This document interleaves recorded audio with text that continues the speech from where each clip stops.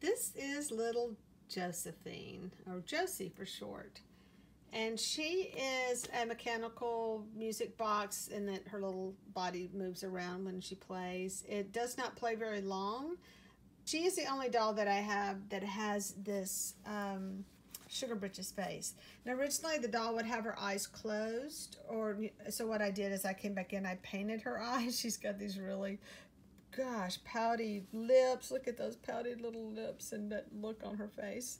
I also painted her hair in. I gave her this really cute hairdo. This is actually how I styled my boys' hair when they were babies. I would uh, comb all their hair to the middle and then give them the curl on top.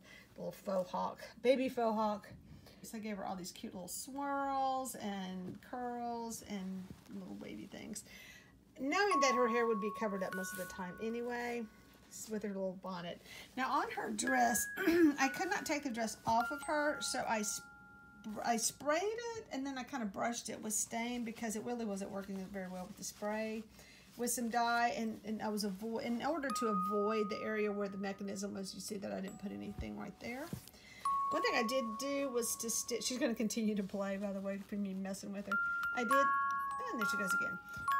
And she is possessed so I did stitch her little gown down so it shows up better and she's got these cute little little fists. See her little fisties?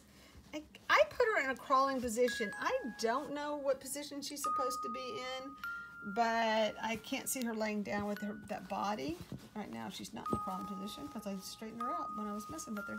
I had her in this little crawling position so that it kind of boosted her up a little bit better and I think that really helps her take some of the weight off of her hands. I did put some stitches in her dress to kind of hold it in place. You see when she's not, you have to sit her right on her on her box whole mechanism. And right now she's sitting on a plastic container I use for my photo stand and it's a little warped. So she does want to rock over. Right now her weight's kind of balanced over the wrong way. Okay, hang on. So that's her little issue. She wants to kind of tip if she gets too over to one side. So you gotta watch out for this girl, not leave her in this position. So basically when you're winding her up and down, she will not move until, unless you do it by, with the key.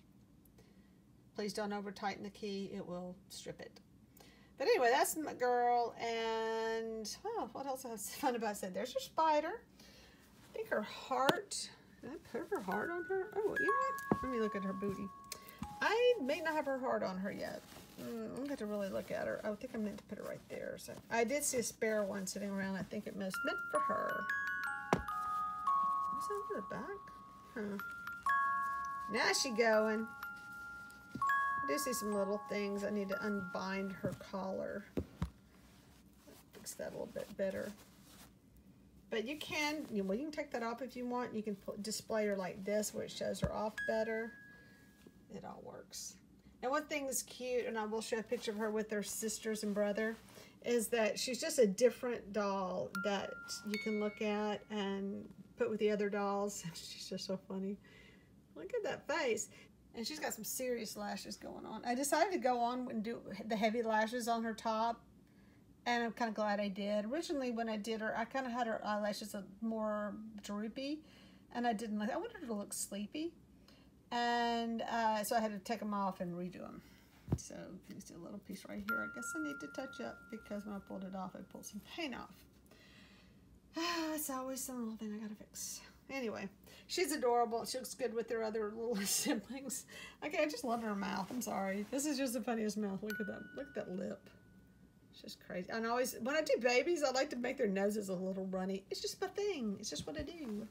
Anyway, I'm going to have her on eBay. Gonna, her starting bid will be $99.99, and I'm hoping she finds a new home. I put a lot of work into her, and I hope someone can appreciate it and put her with their collection.